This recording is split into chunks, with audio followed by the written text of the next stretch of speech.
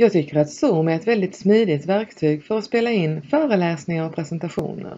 Och en extra bonus är att det går ju bra att spela in tillsammans med någon. Innan du börjar spela in så är det lite förberedelser du behöver göra. För det första så måste du se till att du har Zoom-programmet eller Zoom-klienten installerad på din dator. Och sen behöver du klicka på inställningarna här och kontrollera dina inställningar för inspelning. Och det är två saker som är viktiga att kolla. Dels att det finns gott om plats för din inspelning. Och ett tips här, det är att den plats som Zoom själv väljer automatiskt, där är ganska lite plats på en HKR-dator. Så därför har jag gjort så att jag har tryckt här på Change och sen så har jag ändrat så att jag sparar mina inspelningar i en mapp på skrivbordet istället. Den andra inställningen du behöver ta ställning till det är om du vill spela in videon samtidigt som du visar skärm eller ej. Och om du vill göra det så behöver du också bestämma om du vill att den ska läggas bredvid eller ovanpå det du spelar in. Jag gillar inte riktigt att ha den bredvid för jag tycker att det förstör proportionerna på inspelningen. Så det här brukar jag plocka bort. Och i det här fallet tänker jag faktiskt plocka bort videoinspelningen helt och hållet under skärmdelning så att jag bara får röst i min PowerPoint. Och sen är det bara att klicka här och stänga inställningarna. De behöver inte sparas. Den andra saken är ju att fundera igenom vad det är för saker du ska visa under din inspelning.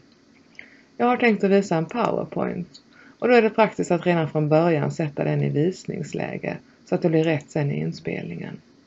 När jag då har satt min PowerPoint i visningsläge så kan det vara svårt att hitta tillbaka till vart jag hade Zoom.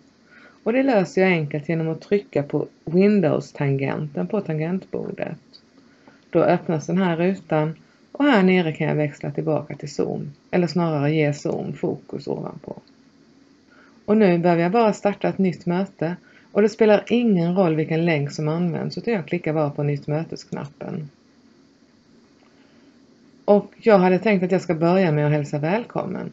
Så jag tar och trycker här på inspelningsknappen och börjar med att säga välkommen. Hej och välkommen! Idag ska jag berätta lite om elefanter som badar.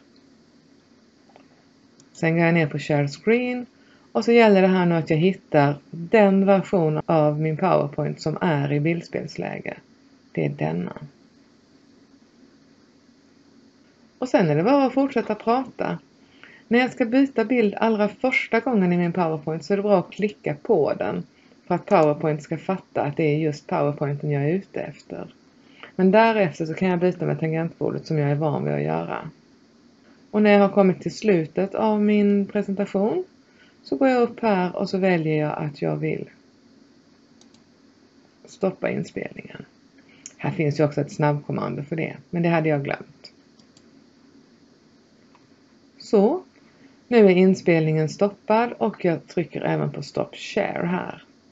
Tänkte du förresten på att det visades ju videobild trots att jag hade valt bort det och det visades även lite zoom-knappar mitt på skärmen. De kan jag bara strunta i för jag har ju valt att de inte ska synas så, så de kommer inte med på inspelningen. Men det jag behöver göra nu det är att jag behöver stoppa själva Zoom-mötet också. Så det gör jag. Och när jag stoppar mitt Zoom-möte då börjar Zoom räkna om inspelningen till en färdig film. Och det tar en liten stund beroende på hur lång min inspelning är.